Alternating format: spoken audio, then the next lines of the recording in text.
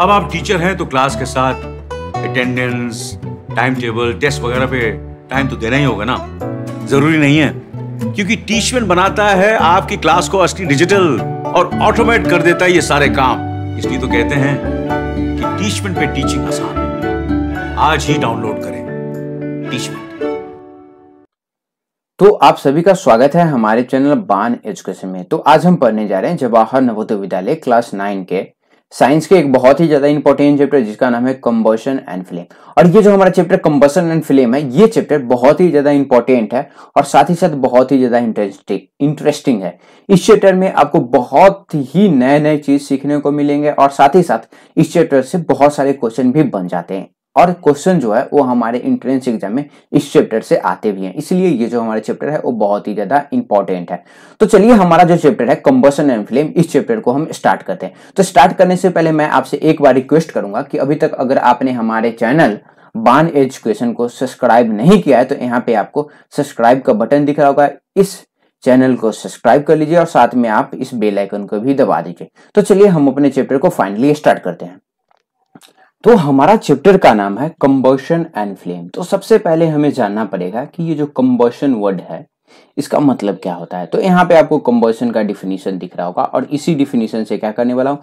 मैं ये सारा चीज़ आपको समझाने वाला अब ये कंबर्शन क्या होता है? A chemical process in which a substance react with oxygen to give heat and light तो देखिए, ये जो होता है, ये एक केमिकल प्रोसेस होता है, जिसमें कोई भी सब्सटेंस ऑक्सीजन के साथ रिएक्ट करने के बाद वो हमें क्या देता है? वो हमें हीट देता है और लाइट देता है। यहाँ पे ऑक्सीजन से रिएक्ट करने का मतलब क्या हुआ? उसको हम जलाते हैं। तो वो हमें क्या देता है? वो हमें हीट और लाइट देता है। जैसे में यहाँ पे आप एग्ज़ाम्पल देखिए आप। अगर हम कोयला को जलाते हैं, अगर हम कोयला को जलाते हैं ऑक्सीजन से रिएक्ट करवाते हैं जलाना और ऑक्सीजन के साथ रिएक्ट करवाना, दोनों सेम है। आपको कंफ्यूजन नहीं होना है कि ऑक्सीजन के साथ कैसे रिएक्ट करवाएँगे। ऑक्सीजन के साथ रिएक्ट करवाने का मतलब हुआ यहाँ पे जलाने का काम। तो अगर हम को कोल को ऑक्सीजन के साथ रिएक्ट करवाते हैं तो वो हमें क्या देता है? हीट और लाइट देता है। जैसे में यहाँ पे आप इमेज से भी समझ सकते हैं। अब यहाँ पे आपको दिख रहा होगा वुड दिख रहा होगा। क्या दिख रहा होगा? आपको जो है, वो वुड दिख रहा होगा। तो वुड को हम क्या करते हैं? वुड को अगर हम ऑक्सीजन के साथ रिएक्ट करवा रहे हैं ओ टू के साथ अगर हम रिएक्ट करवाते हैं तो ये हमें क्या देता है? ये हमें लाइट देता है। जब किसी भी चीज़ को जलाते हैं तो रोशनी उत्पन्न होती है और साथ ही साथ उष्मा यानी कि हीट जो है वो रिलीज़ होता है। तो इसी प्रोसेस को हम क्या बोलते हैं? कंबसन और सिंपल भाषा में अगर हम बोले तो कंबसन का मतलब होता है किसी भी चीज़ को जलाना। अब देखिए, कोई भी चीज़ होता है वो हमारा दो टाइप का होता है। अब वो क्या क्या होता है? तो पहला जो हमारा कोई भी सब्टांस होता है कंबस्टेबल सब्टांस होता है। कंबस्टेबल सब्टांस ऐसा सब्टांस जो जल सकता है। The substance which can burn is called combustible substance ऐसा सब्टांस जो जल सकता है, उसको हम कंबस्टेबल सब्टांस बोलते हैं। जैसे में, आप पेपर को क्या कर सकते हैं? जला सकते हैं। आप कपड़े को भी जला सकते हैं। कुकिंग गैस एलपीजी गैस को भी हम क्या कर सकते हैं? जला सकते हैं। सीएनजी गैस को भी हम जलाते हैं। केरोसिन ऑयल भी जलता है। उड भी जलता है। कोल भी जलता है। काउडंग काउडंग भी जो है, वो हमारा जलता है पेट्रोल और मैच स्टिक। ये जो सारे चीज़ है, वो जलते हैं। और वहीं पे बहुत सारे ऐसे ऑब्जेक्ट होते हैं जो नहीं जलते, जिसको हम बोलते हैं non combustible substance the substance which do not burn ऐसा सब्सटेंस जो नहीं जलता है, उसको हम नॉन कम्बस्टेबल सब्सटेंस बोलते हैं। अब कौन से सब्सटेंस है जो नहीं जलते? तो देखिए, कभी भी जो है, आप वो स्टोन पत्थर को नहीं जला सकते। आप ब्रिक को भी नहीं जला जला सकते आप सॉइल को नहीं जला सकते सैंड वाटर और आयरन नेल्स को, ये जो सारे चीज़ है, आप क्या कर सकते इनको नहीं जला सकते। तो मैं आपको बताया कि कंबशन क्या होता है, और कंबशन से आया हमारा कंबस्टेबल सब्सटेंस देखिए, यहाँ पे आपको ये जो कंबस्टेबल दिख रहा है ना, ये जो वर्ड है हमारा, वो कंबशन से ही आया है। ये जो वर्ड है, वो हमारा कंबशन से ही आया है तो आपको ध्यान में रखना है। अब देखिए, अब हम जान लेते हैं कि कंबशन करने के लिए कौन कौन से फैक्टर नेसेसरी है? कंडीशन नेसेसरी फॉर कंबशन अगर हमें किसी चीज़ को जलाना है तो हमें कौन कौन सा कंडीशन चाहिए, वो देख लेते हैं। तो देखिए, अगर हमें किसी भी चीज़ को जलाना है तो सबसे पहले हमें क्या चाहिए? सबसे पहले हमें कोई भी जलाने वाली वस्तु चाहिए मतलब प्रजेंस ऑफ़ कम्बस्टेबल सब्सटेंस जलाने वाली वस्तु चाहिए, और साथ ही साथ जलाने का जो प्रोसेस होता है, उसमें ऑक्सीजन इन्वॉल्व होता है। तो ऑक्सीजन चाहिए और साथ ही साथ ना heating the combustible substance to ignition temperature तो देखिए, मैं आपको बहुत ही ज़्यादा सिंपल तरीका से बता देता हूँ। अगर मान लीजिए, अगर हमें किसी चीज़ को जलाना है, किसी भी चीज़ को जलाना है तो सबसे पहले हमें जलाने वाली वस्तु चाहिए। और फिर फिर हमें ऑक्सीजन का नीड पड़ेगा। और साथ ही साथ इग्नियस टेम्परेचर चाहिए। अब इग्नियस टेम्परेचर क्या होता है? तो देखिए अगर किसी भी चीज़ को जलाने के लिए हम क्या करते हैं उसको कुछ टेम्परेचर प्रोवाइड करते हैं। कुछ बाहरी हीट उसको प्रोवाइड करते हैं। जैसे में मान लीजिए अगर हम हमें क्या करना है अग, अगर हमें पेपर जलाना है तो पेपर जलाते हम कैसे हैं? हम उसको मैच स्टिक यानी कि माचिस की हेल्प से जलाते हैं। तो माचिस जो उसको हीट प्रोवाइड करता है उसको हम इग्नियस टेम्परेचर बोलते हैं। अब इग्नियस टेम्परेचर आपको यहाँ पे समझ में आ जाएगा। देखिए क्या है हमारा इग्नियस टेम्परेचर देखिए ignition temperature the minimum temperature at which an object catch fire उसको हम बोलते हैं इग्नियस टेम्परेचर अब देखिए, किसी चीज़ का इग्नियस टेम्परेचर जो होता है, वो बहुत ही ज़्यादा लो होता है और किसी भी चीज़ का जो इग्नियस टेम्परेचर होता है, वो बहुत ही ज़्यादा हाई होता है. जैसे में देखिए some of the substance have lower ignition temperature मतलब कि ये ऐसे सब्टांस है जो थोड़े से लो टेम्परेचर में आग पकड़ लेते हैं. जैसे में पेट्रोल आप इसको थोड़ा सा चिंगारी दीजिएगा, ये आग पकड़ लेगा। केरोसिन ऑयल थोड़ा सा इसको चाहिए कोई भी चीज़ अल्कोहल सीएनजी ये जो सारे चीज़ है, इनको थोड़ा सा टेम्परेचर देना पड़ेगा। अब वहीं पे देखिए। कुछ ऐसे ऑब्जेक्ट होते हैं जिसके पास हाइयर इग्नियस टेम्परेचर होता है। जैसे में कोल कोल को जलाने के लिए आपको थोड़ा सा टाइम लगेगा पेपर जलाने के लिए काउडर तो यहाँ पे आपको इग्नियस टेम्परेचर क्या समझना पड़ेगा? इग्नियस टेम्परेचर को आप सिंपल समझिए कि किसी भी चीज़ को जलाने के लिए हम क्या करते हैं, उसको थोड़ा सा आग प्रोवाइड करते हैं हीट प्रोवाइड करते हैं, उसको हम बोलते हैं इग्नियस टेम्परेचर अब हम क्या करते हैं, आगे चलते हैं। तो मैं आपको पढ़ा दिया कि कंबर्शन क्या होता है। फिर कंबस्टेबल सब्टांस क्या होता है और कौन से कौन से कंडीशन होते हैं कंबर्शन टेक प्लेस करने के लिए। तो अब हम जान लेते हैं टाइप ऑफ़ कंबर्शन कंबर्शन जो होते हैं, वो हमारे कितने टाइप के होते हैं? और ये जो चीज़ है, बहुत ही ज़्यादा इंपॉर्टेंट है और बहुत ही ज़्यादा इंटरेस्टिंग है। आपको थोड़ा सा इसमें क्या करना पड़ेगा? पेशेंस रखना पड़ेगा। अब सबसे पहला जो हमारा टाइप होता है, देखिए कंबर्शन का जो टाइप होता है, वो हमारा तीन टाइप का होता है। तो पहला होता है हमारा रैपिड कंबर्शन तो रैप रैपिड का रैपिड का मतलब आपको को मालूम है कि इसका मतलब होता है जल्दी। क्या होता है? बहुत ही ज़्यादा जल्दी। फास्ट फास्ट कंबर्सन तो फास्ट कंबर्सन मतलब कि आप समझ सकते हैं कि जल्दी आग लग जाएगा। तो देखिए, यहाँ पे आपको क्या दिख रहा होगा? The combustion in which large amount of heat and light are produce in short time तो देखिए, ये एक ऐसा कंबर्सन का प्रोसेस है जिसमें शॉर्ट पीरियड ऑफ़ टाइम में आपको बहुत ही ज़्यादा बहुत ही ज़्यादा लार्ज अमाउंट ऑफ़ हीट मिलेगा और साथ ही साथ आपको लार्ज अमाउंट ऑफ़ लाइट मिलेगा। जैसे मैं आप अगर एलपीजी गैस जलाते हैं तो एलपीजी गैस जो होता है वो तुरंत आग पकड़ लेता है और बहुत ही ज़्यादा हीट एंड लाइट भी देता है। वहीं पे केरोसिन ऑयल को अगर आप जलाते हैं तो वो भी क्या करेगा तुरंत ही ज़्यादा एक, एक फायर को कैच कर लेता है और साथ ही साथ हीट एंड लाइट बहुत ही ज़्यादा वो प्रोवाइड करता है। अब देखिए स्पॉन्टेनियस कंबर्सन अब स्पॉन्टेनियस का मतलब मैं आपको बता दूँ कि हिंदी मतलब क्या होता है? स्पॉन्टेनियस का मतलब ऐसा चीज़ जो अपने आप हो जाए। ऐसा चीज़ अपने आप हो जाए। तो स्पॉन्टेनियस कंबर्सन ये एक ऐसा कंबर्सन होगा जो किसी के हेल्प से विदाउट किसी के हेल्प से अपने आप हो जाएगा। जैसे मैं देखे the combustion which occur on its own without the help of any external heat अब मैं आपको बताया था कि किसी भी चीज़ को जलाने के लिए कंबोशन टेक प्लेस करने के लिए एक्सटर्नल हीट का ज़रूरत होता है। लेकिन कुछ ऐसे सब्टांस है जिनको कोई भी एक्सटर्नल हीट का ज़रूरत नहीं होता है, कोई भी उनको इग्नियस टेम्परेचर का ज़रूरत नहीं होता है। वो जो होते हैं खुद अपने आप आग पकड़ लेते हैं। जैसे में देखें, मैं आपको बता दूँ the burning of white phosphorus तो व्हाइट फॉस्फोरस जो है, वो एक केमिकल होता है, या एक सब्टांस होता है जो जिसको आप रूम टेम्परेचर में अगर आप रख देते रूम टेम्परेचर में आप इसको अगर रख दीजिएगा तो ये जो है, खुद ब खुद क्या करेगा? ये जो है, खुद ब खुद आग पकड़ लेगा। और ये जो चीज़ है, ये बहुत ही ज़्यादा इंपॉर्टेंट है, आपको याद रखना है। फॉस्फोरस और सोडियम दोनों चीज़ होता है। एन ए सोडियम को हम बोलते हैं एंड फॉस्फोरस तो चलिए, ये जो सारा चीज़ है, वो आपको समझ में आ जाना चाहिए। फॉस्फोरस होता है और हमारा सोडियम होता है। अब क्या करते हैं? अब हम जान लेते हैं एक्सप्लोसिव कॉम्बसन अब एक्सप्लोसिव का मतलब आपने सुना होगा कि आपने न्यूज़ में अक्सर देखा होगा कि जब बम कहीं पे फूटता है तो हम उसको बोलते हैं एक्सप्लोसिव कम्बसन तो देखिए एक्सप्लोसिव कम्बसन क्या होता है? A very fast combustion reaction in which large amount of heat light and sound are produce ये एक ऐसा कम्बसन होता है जिसमें हीट लाइट के अलावा एक नया चीज़ फॉर्म होता है जिसको हम बोलते हैं साउंड साउंड भी जो है, वो इसमें क्या होता है? इसमें रिलीज़ होता है। अब ये जो सारा चीज़ है, वो मैं आपको बता देता हूँ। तो यहाँ पे देखिए, जो भी हम पटाखा जलाते हैं क्रैकर्स वो हमारा एक्सप्लोसिव कंबोशन का एग्ज़ाम्पल है। अब यहाँ पे देखिए रैपिड कंबर्सन रैपिड कंबर्सन में क्या होता है? बहुत ही जल्दी लार्ज अमाउंट ऑफ़ हीट और लाइट हमारा प्रोड्यूस होता है, उसको हम बोलते हैं रैपिड कंबर्सन स्पॉन्टेनियस कंबर्सन ऐसा कंबर्सन जो खुद ब खुद हो हो जाता है, जिसमें क्या आता है? हमारा सोडियम एंड पोटासियम सोडियम और पोटासियम हमारा आता है और एक्सप्लोसिव ये ऐसा कंबर्सन होता है जिसमें हम, जिसमें हमें एक नया नया चीज़ मिलता है जिसको हम बोलते हैं साउंड साउंड भी जो है हीट एंड लाइट के अलावा इसमें हमें साउंड भी देखने को मिलता है। तो इसका एग्ज़ाम्पल आपको याद रखना है और साथ ही साथ एक्सप्लोसिव कंबर्शन आपको याद रखने हैं। अब हम क्या करते हैं? अब हम जान लेते हैं फ्यूल तो फ्यूल आपने सुना होगा और अगर आपने नहीं सुना है, फिर भी मैं आपको समझा देता हूँ। अब यहाँ पे देखिए फ्यूल हमारा क्या होता है? तो fuel fuel a material which is burn to produce heat ये एक ऐसा मटेरियल है जो जलता है तो हमें क्या देता है? हीट देता है। तो इसी को हम बोलते हैं फ्यूल जैसे में किसी भी चीज़ को अगर हम जलाते हैं और वो हमें हीट प्रोड्यूस कर रहा है, दे रहा है तो उसको हम बोलेंगे फ्यूल जैसे में कोयला हम जलाते हैं तो कोयला हमें हीट देगा।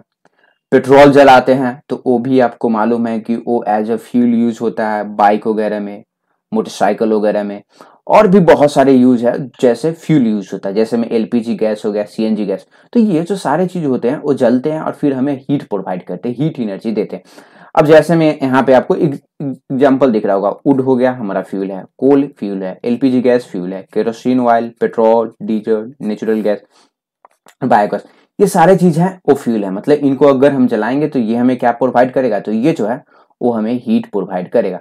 अब देखिए फ्यूल भी जो होते हैं, वो हमारे तीन टाइप के होते हैं। एक सॉलिड फ्यूल होते हैं, दूसरा लिक्विड फ्यूल होते हैं, और तीसरा जो होता है, वो हमारा गैसियस फ्यूल होता है। अब आपको मालूम है कि सॉलिड फ्यूल हमारा सॉलिड स्टेट में होगा, जैसे में वुड हो गया कोल हो गया कोक हो गया काउडन ये जो है, वो हमारे सॉलिड फ्यूल हो गए। केरोसिन ऑयल पेट्रोल डीजल ये हमारा लिक्विड फॉर्म में पाया जाता है। और gaseous fuel natural gas biogas coal gas LPG gas ये जो सारे होते हैं, वो हमारे गैसियस फ्यूल होते हैं। अब यहाँ पे देखिए, कोयला सॉलिड सॉलिड फॉर्म में है लिक्विड फॉर्म में हमारे केरोसिन ऑयल हो गया पेट्रोल हो गया डीजल हो गया, और ये जो होते हैं, वो हमारे गैसियस फ्यूल होते हैं। तो फ्यूल तो है, वो आपको समझ में आ गया होगा। तो अब हम जान लेते हैं फ्यूल से ही रिलेटेड है हमारा एक वर्ड है calorific value of a fuel अब ये क्लोरिफिक वैल्यू ऑफ़ फ्यूल क्या होता है? तो देखिए मैं यहाँ पे आप, आपको बता देता हूँ different fuel produce different amount of heat तो कोई भी चीज़ है उसको हम जलाते हैं तो वो same amount of heat produce नहीं करेगा। जैसे में अगर आप एलपीजी गैस जलाते हैं और एक तरफ़ आप उड जलाते हैं तो आप देखिएगा कि एलपीजी गैस पे जो हमारा खाना है वो जल्दी बन जाएगा और वहीं पे उड यानी कि लकड़ी पे जो खाना है वो हमारा थोड़ा सा जल्दी नहीं बनेगा। तो यहाँ पे आप देखिएगा कि एलपीजी गैस जो है वो ज़्यादा हीट प्रोड्यूस करती है और उड जो है वो कम हीट प्रोड्यूस करती है। तो इसी इसी प्रोसेस को, इसी प्रक्रिया को मेजर करने के लिए हम उसका क्या निकालते हैं? हम उसका कैलोरीफिक वैल्यू उस फ्यूल का निकालते हैं। अब ये क्या होता है? The amount of heat produce by complete burning of one kilogram of fuel is called its calorific value अब यहाँ पे ये ये जो सारा चीज़ है, वो मैं आपको बता देता हूँ। मान लीजिए, अगर हम क्या किए, हम जो है, वो एक के कोई भी चीज़ लिए, और इस एक के को हमें क्या किए, हम इसको जलाती है। और ये जो एक के जितना हीट प्रोड्यूस कर रहा है, जितना जो है, ये हीट प्रोड्यूस करता है, ये उसका क्या होगा? क्लोरिफिक वैल्यू होगा। अब यहाँ पे देखिए the calorific value is express in kilo joule per kilogram के के जे के जी अब यहाँ पे देखिए आपको एक चीज़ आपको मालूम होना चाहिए कि ये जो आप देख रहे हैं ना, किलो जूल जो देख रहे हैं, ये जो है, वो हीट को नापने का एक मेजर है। क्या है? हीट को नापने का मेजर है। तो देखिए, एक के केजी किसी भी चीज़ को अगर हम जलाते हैं, वो हमें जितना हीट प्रोड्यूस करता है, वो जितना किलो जूल हीट प्रोड्यूस कर रहा है तो उसको हम बोलते हैं क्लोरिफिक वैल्यू अब ये जो सारा चीज़ है, वो आपको यहाँ पे समझ में आ जाएगा। अब यहाँ पे देखिए काउडंग काउडंग जो है, वो एक के केजी अगर एक के केजी काउडंग केक को अगर हम जलाते हैं तो वो हमें कितना किलो जूल देगा? तो वो हमें छ हज़ार से आठ हज़ार किलो जूल देगा। वहीं पे देखिए उड जो है, वो हमें कितना दे रहा है? सत्रह हज़ार से बाईस हज़ार किलो जूल दे रहा है। अब देखिए, कोयला जो है, वो हमें कितना दे रहा है? पच्चीस हज़ार से तैतीस हज़ार किलो जूल हीट प्रोड्यूस कर रहा है। पेट्रोल पैंतालीस हज़ार जा रहा है, केरोसिन ऑयल पैंतालीस, डीजल पैंतालीस, मिथेन पचास। अब यहाँ पे देखिए सी एन जी पचास, एलपीजी पचास एलपीजी जो है वो हमारा पचपन हज़ार। अब यहाँ पे देखिए बायोगैस ज़्यादा दे रहा है अब देखिए हाइड्रोजन गैस कितना दे रहा है। तो यहाँ पे ये जो सारा चीज़ है वो आपको अब समझ में आ जाएगा। देखिए अगर हम क्या करें अग, अगर जो है हम वो खाना बनाते हैं एक खाना बन रहा है हमारा कोयला पे और दूसरा खाना बन रहा है मान लीजिए हमारा एलपीजी गैस पे।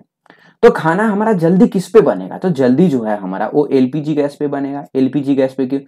एलपीजी गैस का आप क्लोरिफिक वैल्यू देखिए, कितना हाई है? पचपन हज़ार। और वहीं पे कोयला का जो है वो हाईएस्ट तैतीस हज़ार है। तो जल्दी खाना ज़्यादा हीट हमारा एलपीजी गैस प्रोड्यूस करेगा। अब यहाँ पे देखिए, अब मान लीजिए हम क्या कर रहे हैं?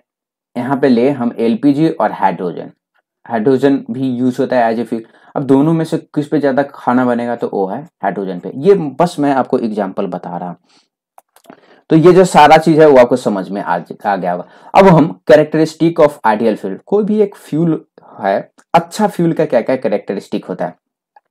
तो देखिए फ्यूल से मिनिमली हमें क्या चाहिए? फ्यूल से हमें हीट चाहिए। तो किसी भी फ्यूल का जो क्लोरिफिक वैल्यू है वो बहुत ही ज़्यादा हाई होना चाहिए। क्या होता है? हो, होना चाहिए। Calorific value high calorific value हो, होना चाहिए वो जो है वो मॉडरेट एयर टेम्परेचर में क्या कर सकते वो उसमें वो बर्न कर सके। वो रूम टेम्परेचर में आसानी से जल सके।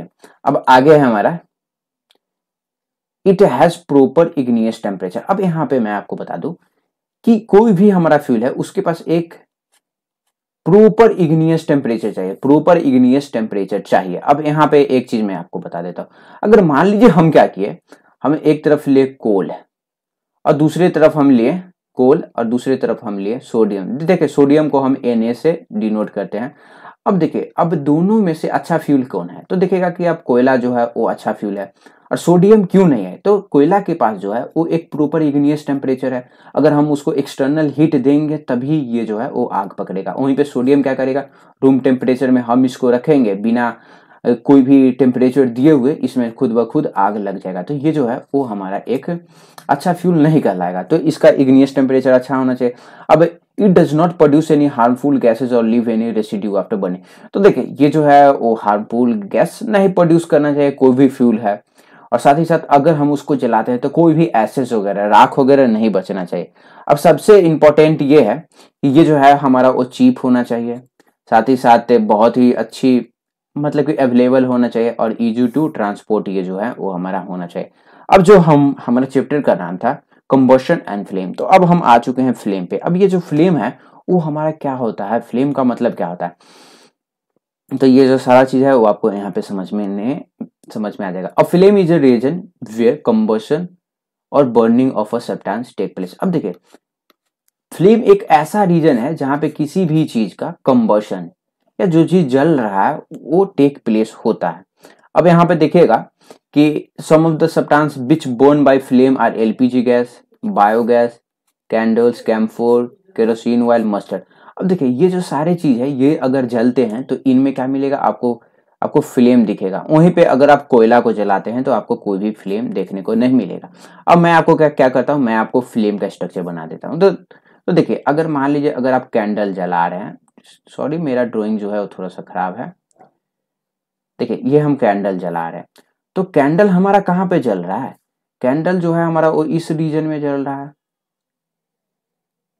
ये जो रीजन मैं अभी पीला किया हूँ, इस रीजन में हमारा क्या कर जल रहा है? ये जो है वो कैंडल हमारा जल रहा है। तो इसी को हम बोलते हैं फ्लेम क्या बोलते हैं? कोयल। फ्लेम और वहीं पे अगर आप कोयला जलाएगा मान लीजिए कोई भी हमारा कोयला होगा तो कोयला में आपको क्या क्या दिखेगा? नो फ्लेम कोयला में आपको फ्लेम नहीं देखने को मिलेगा, वहीं पे आपको कैंडल में जो है, वो आपको फ्लेम देखने को मिलेगा। अब देखिए फैम जो भी हमारा कंबस्टेबल मटेरियल है, जो फ्लेम प्रोड्यूस करता है, उसके फ्लेम को ना हम तीन पार्ट में डिवाइड किए पहला होता है हमारा इनर जोन जिसको हम ब्लैक जोन बोलते हैं। दूसरा होता है हमारा मिडिल जोन जिसको हम येलो जोन बोलते हैं। और अच्छा और तीसरा जो होता है हमारा आउटर जोन जिसको हम ब्लू जोन बोलते हैं। अब ये जो सारा चीज़ है, वो आपको यहाँ से समझ में आ जाएगा। अब देखिए, सबसे बाहरी हिस्सा सबसे बाहरी हिस्सा outer zone of complete combustion outer zone आप देखिएगा तो ये जो है हमारा, वो ब्लू है। ब्लू कलर में होता है और ये जो है, वो सबसे ज़्यादा हॉटेस्ट पार्ट होता है, सबसे ज़्यादा हॉटेस्ट पार्ट अब यहाँ पे देखिए मिडिल जोन देखेगा तो ये जो मिडिल जोन है, वो हमारा येलो कलर का होता है और ये जो है हम, हमारा, वो मॉडरेट हीट प्रोड्यूस करता है। अब सबसे लास्ट वाला पार्ट जो है, वो हमारा ब्लैक जोन होता है। जिसमें जो भी अनबर्नड वैक्स होते हैं कैंडल जलाते हैं तो वो हमारा होते हैं। और ये जो होते हैं, वो सबसे ज़्यादा सबसे ज़्यादा कम हीट वाले प्लेस होते हैं, सबसे कम हमारा हीट होता है। अब ये जो चीज़ देख रहे हैं ना, ये आपको रट जाना है। ये फ्लेम का स्ट्रक्चर आपको रट जाना है। और मैं आप, ये जो फ्लेम का स्ट्रक्चर है, इसको मैं आपको पूरे डिटेल में भी पढ़ाने वाला अब देखिए, सबसे पहले आता है हमारा आउटर मोस्ट जोन जिसको हम ब्लैक जोन बोलते हैं। Innermost zone sorry innermost zone जिसको हम ब्लैक जोन बोलते हैं।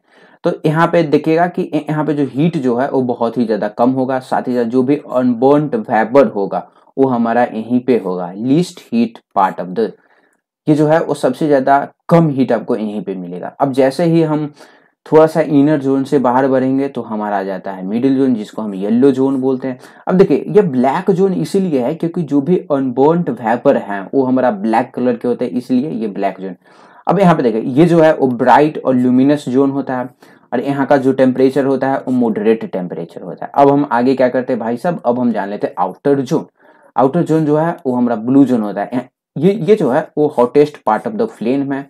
It does not produce light ये जो है, वो लाइट प्रोड्यूस नहीं होता है। और मैं आपको बता दूँ कि जो कंबर्शन जो हमारा कंप्लीट कंबर्शन यहीं पे टेक प्लेस होता है। कंप्लीट कंबर्शन जो है वो हमारा यहीं पे टेक प्लेस होता है। तो यहाँ पे मैं क्या करता हूँ, आपको फिर से समझा देता हूँ। तो सबसे पहला जो पार्ट है, ये जो पहला पार्ट है, इसको हम क्या बोलते हैं? इसको हम बोलते हैं ब्लू जोन क्या बोलते हैं? ब्लू जोन इसको हम बोलते हैं ब्लू जोन फिर आता है हमारा येलो जोन येलो जोन हो गया। फिर जो है हमारा वो ब्लैक जोन होता है। अब आपको मालूम है कि ब्लू जोन जो है, वो हमारा सबसे ज़्यादा हॉट है, ये जो हमारा वो मॉडरेट है और ये जो है वो लिस्ट है। तो ये जो सारा चीज़ है, ये सारा चीज़ आपको बहुत ही ज़्यादा आसानी तरीका से समझ में आ गया होगा कि ये जो हमारा, जो भी फ्लेम का स्ट्रक्चर था, वो मैं आपको पढ़ा दिया हूँ। तो यहाँ पे हमारा चैप्टर कंबसन एंड फ्लेम जो है, वो कंप्लीट हो चुका है। अब मैं आपसे मिलता हूँ अगले अगले वीडियो में। उससे पहले मैं आपसे एक बार रिक्वेस्ट करना चाहूँगा कि अगर आपने हमारे चैनल बान एजुकेशन को सब्सक्राइब नहीं किया है तो प्लीज़ सब्सक्राइब कर लीजिए, क्योंकि आपको हमारे चैनल पे इसी टाइप के वीडियो मिलते रहेंगे। धन्यवाद। जय हिंद, जय भारत।